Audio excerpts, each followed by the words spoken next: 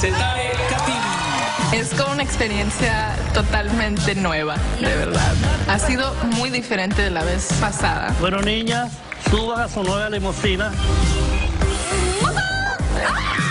En mi año llegué como primera finalista. Pareja de Roide. Estaba En el 2010 me iba a cantar en las audiciones, pero por algo una chiripiorca me entró y dije, voy a hacer este monólogo. y que una señora que no es brasileña te está depilando el para ser la próxima nuestra belleza latina. En el 2012, cuando regresé, le gustó que yo había cambiado todas las cosas que él me había dicho. Después, cuando me llamaron para entrar otra vez, yo decía,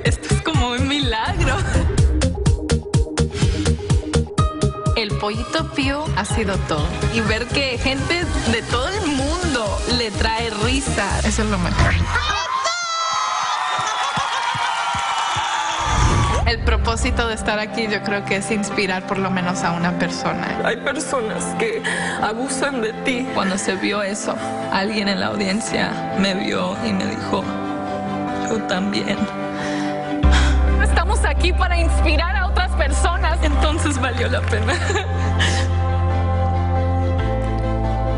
Si no me gano la corona, yo creo que compartir eso con la gente ha sido mi mayor triunfo en esta competencia.